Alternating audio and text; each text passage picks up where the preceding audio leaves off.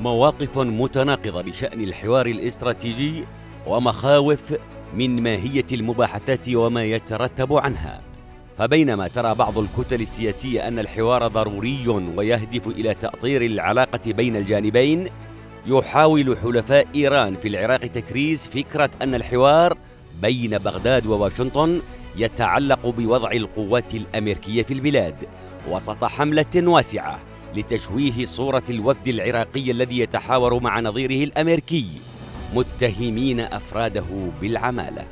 آه، هناك مشاكل بين أمريكا وبين إيران آه، خصوصا أنه قبل بدء الحوار الاستراتيجي أو آه، الحوار حول الاتفاقية الاستراتيجية بين العراق وأمريكا.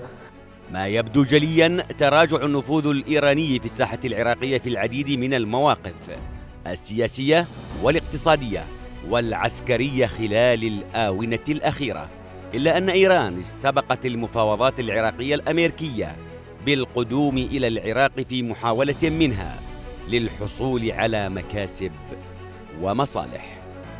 اليوم نلاحظ أنه الإيرانيين بدأوا بسلسلة تراجعات آه، بمواقفهم باتجاه العراق وما ممكن أن يكون النفوذ الإيراني بذات الحجم اللي كان عليه سابقا في أيام آه، قاسم سليماني. اليوم آه، هناك مفاوضات قادمة. استبقوا الإيرانيين المفاوضات العراقية الأمريكية بالقدوم إلى العراق للحصول على مكاسب أو وضع آلية جديدة للتعامل ما بين العراق وإيران. رئيس الوزراء العراقي مصطفى الكاظمي يعرف أكثر من غيره أن بإمكانية الولايات المتحدة التي صنعت متاهة العراق أن تخرجه منها غير أن تلك المعرفة ستكون مضرة بالنسبة إلى الآخرين من شركائه في العملية السياسية الذين يراهنون على الحليف الإيراني وتلك هي المعضلة.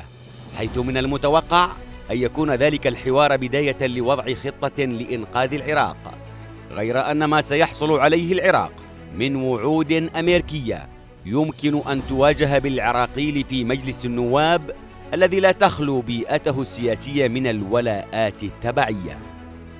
وبصرف النظر عن جميع الاعتبارات الرئيسة فإن النتيجة المحتملة الأسوأ بالنسبة لكل من العراق والمنطقة. هي حوار استراتيجي يعجز عن إنشاء علاقة مستقرة بين البلدين ويمكن لنتيجة مماثلة أن تؤدي إلى انسحاب القوات الأمريكية من العراق ووقف كافة المساعدات الأمريكية أو حتى فرض عقوبات أمريكية على العراق. فهل سيخاطر العراق بمستقبله لصالح إيران؟